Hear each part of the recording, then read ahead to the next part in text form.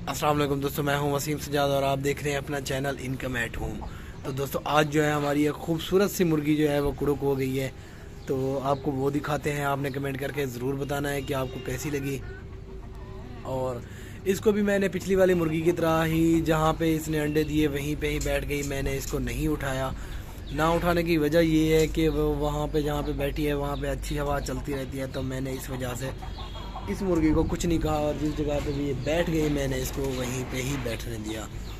तो आपको मुर्गी दिखाता हूँ, आपने कमेंट करके ज़रूर बताना है कि आपको कैसी लगी।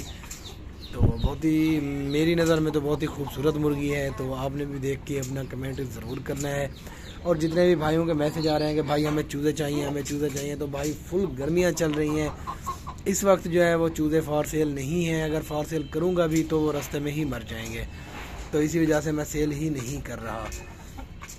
तो अभी मैं जो है आपको मुर्गी दिखाता हूँ। आपने मुर्गी देखनी है और कमेंट करके ज़रूर बताना है कि आपको मुर्गी कैसी लगी। और जब इसके चूज़े निकलेंगे तो मैं आपको वो चूज़े भी दिखा दूँगा। अभी मैंने ये वाली जगह भी बनाई हुई है, यहाँ पे सारी रेत डाल के। अभी मैंने यहाँ पे पानी डाल लिया। दिन को मैं यहाँ पे फिर से पानी डाल दूँगा। ये पूरा दिन मुर्गियाँ जो है इसमें रहेंगी। तो अभी तो सुबह सुबह का टाइम है तो बहर भी निकली हुई है, लेकिन अगर जैसे ही धूप पड़ेगी तो ये बहर नहीं निकलेंगी, ये सारी की सारी अंदर ही आ जाएँगी। तो अभी मैं मुर्गी आपको दिखाऊँ और आपने कमेंट करके अपनी राय ज़रूर देनी है। तो ये रही जी दोस्तों हमारी मुर्गी।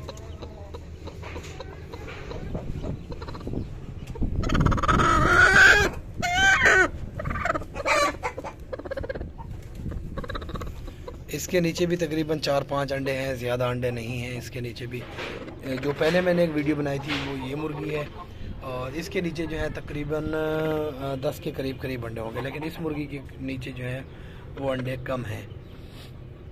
क्योंकि ये जिस भी अंडों पे बैठी है, ये इसके खुद के अंडे हैं और ये खुद के अंडों पे ही बैठी है।